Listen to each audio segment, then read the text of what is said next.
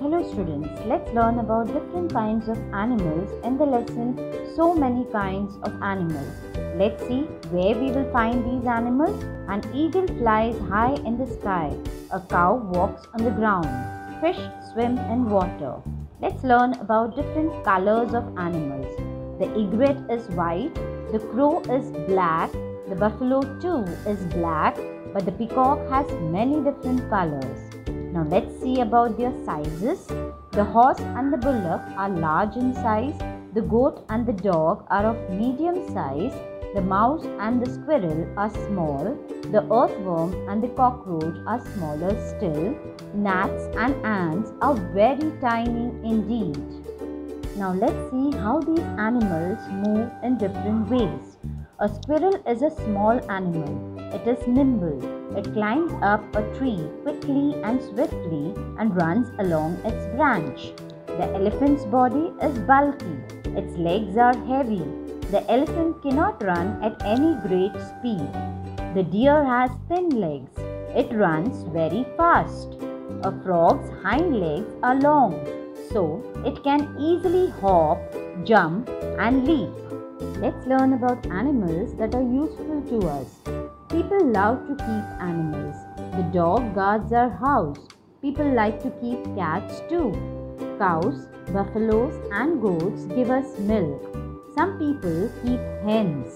We get meat, milk, and eggs from animals. Bullocks help with farm work.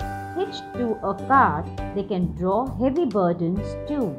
Horses and donkeys too are used to carry burdens. We look after the animals we keep. We feed them. We take care of them when they are ill. The animals we keep become dear to us. Let's see about the animals who are known as gate crashers. Gate crashers means unwanted or not invited. Some animals enter our houses even though we don't want them. Mice and rats destroy stored grain besides gnawing other things in the house. Sometimes we find bed bugs in our house. They suck our blood. Spiders make cobwebs in the house. Mosquitoes, flies, gnats, and cockroaches are a nuisance too. Even so, these troublesome animals too have an important place in nature. We have seen that animals around us can be grouped in different ways. We form these groups using our everyday observations. However, when scientists classify animals, they look at more important characteristics of animals. Let us see how they do it. Let's learn about the animals that suckle their young ones. The young ones of animals like the cow, dog, goat, and rat grow up on their mother's milk. These animals have four legs. They have hair on their body. They have external ears. Animals that fly. Birds have only two legs. They have two wings to fly with. Their body is covered with feathers. There are differences in the flying ability of different birds. The eagle can soar high into the sky and stay in the air for a long time, but the cock does not fly high and comes down soon too. Animals that live in water. There are many different kinds of fish. They live in the water. Fish have fins. They use their fins to move in water. There are scales on a fish's body. Do you know a fish has gills behind its eyes? Fish use their gills to breathe in water. Animals that creep and crawl. Chameleons, house lizards, and snakes are animals that crawl.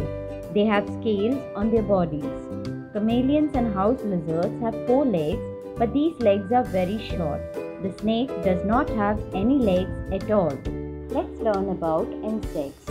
Butterflies have wings too, but we don't call them birds. They are insects. They are smaller than birds. Besides, they have six legs.